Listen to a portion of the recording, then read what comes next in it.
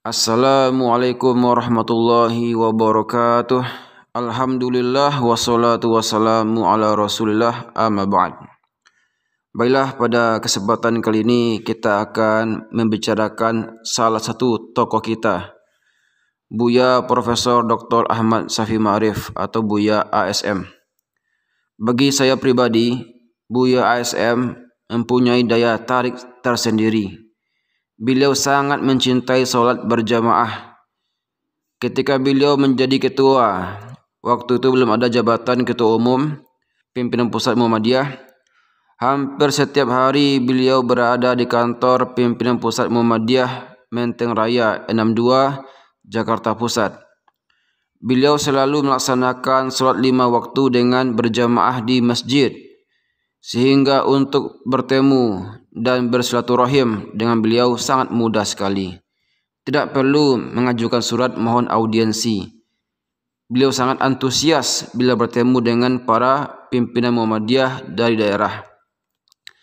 Tanpa melihat jabatan apakah orang wilayah atau ranting sekalipun, beliau menyediakan waktu untuk berbincang-bincang dengan akrab. Perlu dipahami bagi orang-orang dari daerah bertemu dengan ketua PP Muhammadiyah merupakan kebahagiaan tersendiri. Apa yang dilakukan oleh Buya ASM mengikuti akhlak para ketua-ketua sebelumnya, yaitu tidak elitis, bersikap hangat dan santun ketika ada tamu-tamu dari daerah sekalipun tidak diundang.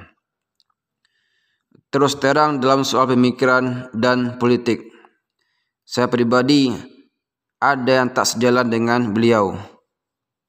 Tetapi sebagai seorang moderat, beliau terbuka dan sangat demokratis.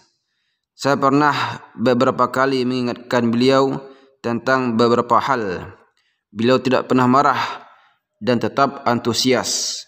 Dan beliau tidak mau menjadi imam dan selalu menyuruh saya bila kebetulan saya ada. Suatu kali saya pernah tanya beliau tentang cara sholat jamak kosor, zuhur dan asar dengan berjamaah pada waktu sholat zuhur. Ketika tasyahud awal, dia salam.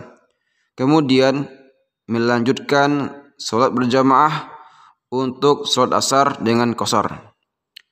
Ketika saya tanya kenapa begitu, jawabannya dulu Pak Azhar Bashir begitu melaksanakannya.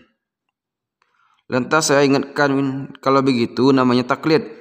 Dia Muhammadiyah tidak boleh taklid. Apalagi sebagai ketua PP Muhammadiyah. Beliau dengan spontan dan menjawab, ya nanti saya pelajari. Bagaimanapun, sebagai seorang yang lebih muda, saya tetap hormat kepada beliau.